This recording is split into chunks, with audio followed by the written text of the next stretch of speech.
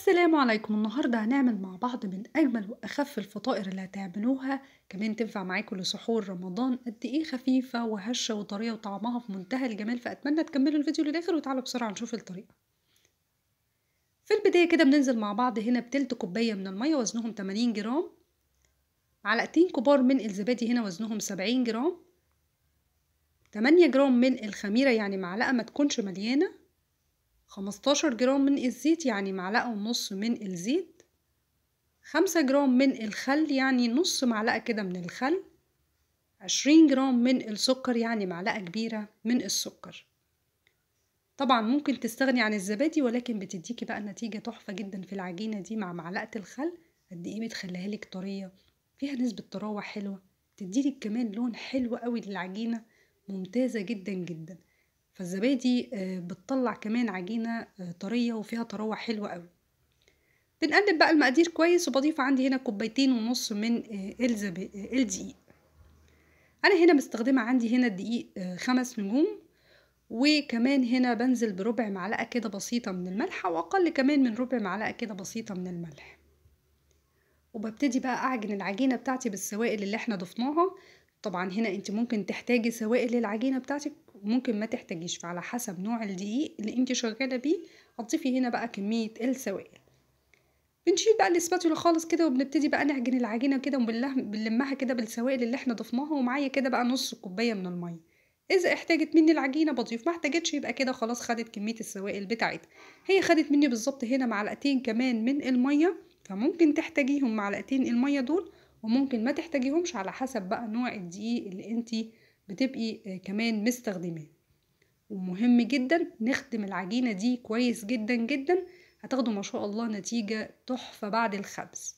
نزلت كده بيها على الرخامة بقى وابتديت إن أنا أعجن عشان ما تبقاش كمان مجهدة ليكي ممكن تسيبيها تعجنيها شوية وتسيبيها كده دقيقتين وترجعي. في ثواني هتلاقي العجينة بتاعتك اتخدمت كويس وبقت عجينة ما شاء الله عليها تحفة بالشكل دوت كده. قد إيه العجينة معانا طرية وهبتدي أضيف لها عندي كده عشرين جرام من الزبدة يعني معلقة كبيرة من الزبدة. طبعا تقدري تستبدليها هنا بمعلقة من السمنة أو تخلي المقدار كله زيت على حسب المتوافر عندك ولكن الزبدة بتديها طعم السمنة كمان بتديها طعم. هنا الزبدة بتدي طراوة وطعم مختلف كمان للعجينة وكمان السمنة بتديها طعم كده وبتخلي لك العجينة كده فيها نسبة ذوبان وطعمها برضو بيبقى حلو. هتحسي إن العجينة فصلت ما تضيفيش دقيق خالص استمري في العجن. هتاخدي النتيجة التحفة اللي انت شايفاها دي. قد إيه العجينة معاكي طرية لينة في إيدك ناعمة كمان زي ما أنتوا شايفين. فبجد اللي يجرب في جرب في كمية كبيرة العجينة ممتازة بجد.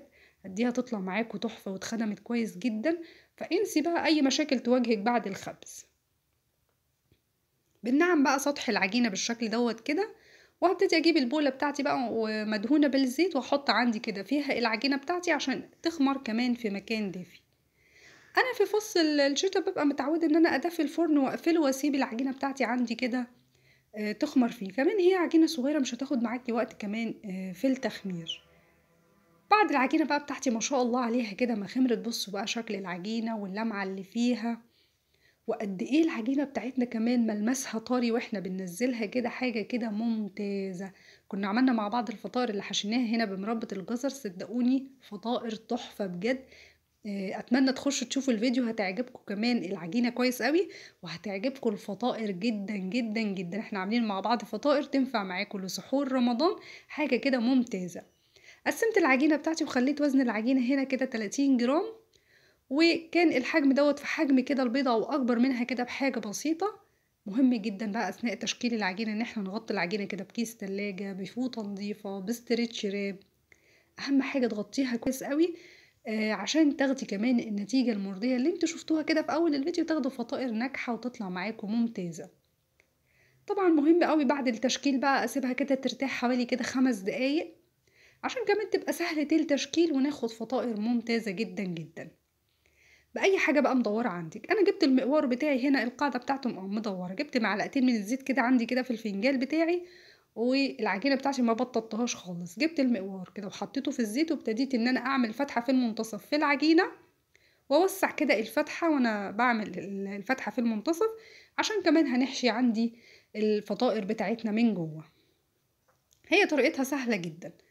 أي حاجة مدورة عندِك تبتدي كده تعملي بيها الفتحة، ومهم جدًا إن أنتِ تحطيها في الزيت عشان كمان ما تلزقش كده العجينة في الحاجة اللي أنتِ شغالة فيها، فكمان تضايقِك أثناء الشغل، وهي سهلة جدًا صدقيني الكمية ما بتاخد معاكِ وقت خالص، في ثواني كده هتلاقي نفسِك أصلًا خلصتيهم، ما شاء الله عليها هي ممتازة العجينة لينة هتشتغل معاكِ كده بكل سهولة، هتخلصيهم بالشكل دوّة كده، أنا بقى هاحط فيهم النهارده حبة الشاورما، كمان عملت الفراخ كده مكعبات آآ، فكانت حلوة أوي. الحشوة دي بقى مش هنختلف عليها. زي ما أنتِ عايزة، عايزة تحشيها حلو احشيها، عايزة تحشيها mix جبن هتطلع معاكِ ممتازة جدًا، بواقي التلاجة اللي عندنا. اللانشون والزيتون والجبنة هتطلع معاكِ أروع من كده. ما فيش إحنا كنا عملناها مع بعض في فيديو. آآ، لو حابين الوصفة كمان هتخشوا تشوفوها، عملناها فطائر كده بحشوة اقتصادية برضه كانت ممتازة جدًا، فالحشوة زي ما أنتِ عايزة بتحشي كده الفطائر بتاعتِك و آمم، بتطلع معاكِ كمان آآ، ممتازة بالشكل اللي أنتم شايفينه دوّة كده، طبعًا لو كبرنا العجينة كمان بتبقى كمان حلوة، بس أنا حبيت أعملها صغيرة آآ، كان شكلها حلو أوي وهي كمان آآ، صغيرة. بتحطي كده الحشوة في المنتصف وتضبطي كده الشكل بتاعها وهتطلع معاكِ ممتازة. عملنا كده واحدة تانية مع بعض، جبت المقوار بتاعي برضه حطيته كده في في الزيت، وابتديت إن أنا أفتح فتحة في المنتصف كده في العجينة، وزي ما قُلت لكم مهم جدًا إن أنتم آآ، تحطوا ال الحاجة اللي أنتم شغالين بيها تحطوها في الزيت عشان يبقى سهل ليكم كمان آآ، الشغل.